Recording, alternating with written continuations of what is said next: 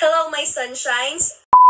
Days left before our first anniversary together. So for today, I wanted to shout out and thank all of our content creators out there, especially po um, sa mga editors natin sa TikTok. And I know editing takes a lot of time and effort to be creative. So na-appreciate ko po kayo at mga sa mga ginagawa niyo. So speaking of sino-sino kaya ang mga creative sunshines natin, TikTok creators dyan, hmm, excited na ako makilala through your TikTok edits with my songs. So, good luck, sunshines, and I'll see you.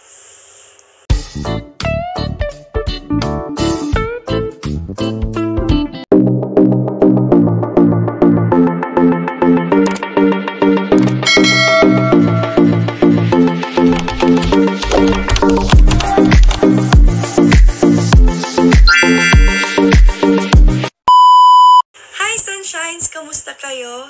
I hope you guys are doing well.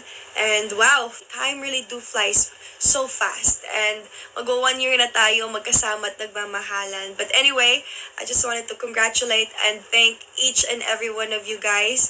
Mapa-team bahay ka man or team live. I may not able to say thank, thank you to every single one of you guys. But just know that you are seen I know your effort, your dedication, and your time na ginugol ninyo para mapakita sa akin yung pagmamahal ninyo at suporta ninyo for me. And just know then na every time I see you guys, every time I get to meet you guys, my heart is just pounding and I can't just wait to see lahat ng sunshines ko one day. And ayon, I just wanted to say I love you guys once more, always and forever. And two more more shows to come for us. See you guys.